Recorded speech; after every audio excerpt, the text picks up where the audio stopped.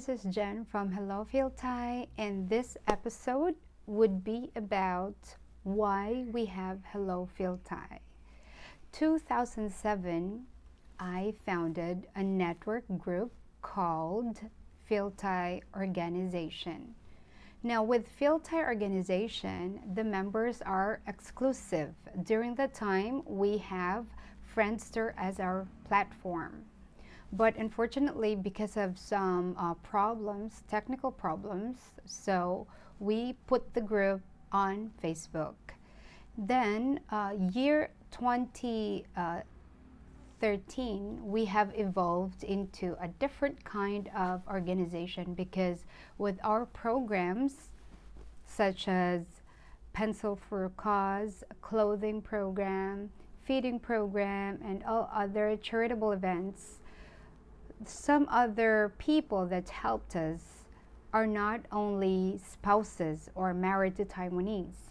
Even the OFWs here in Taiwan, the Filipino OFWs, and the Taiwanese people started to help our program. So from that year, we have become Philtai Foundation. Then, as we moved along, because of our volunteerism to support our government, which is uh, the governance of Duterte, we have become 100% volunteer. So from being a volunteer, on the year uh, 2016, we have evolved into a Philtai online television. Now, from that Philtai online television, we encourage everyone to share their ideas because we are already seen worldwide. But then on the year uh, 2017, we have evolved into a different kind of platform, which is encouraging not only Filipinos, but those who have ideas about the Philippines, Taiwan, all over the world.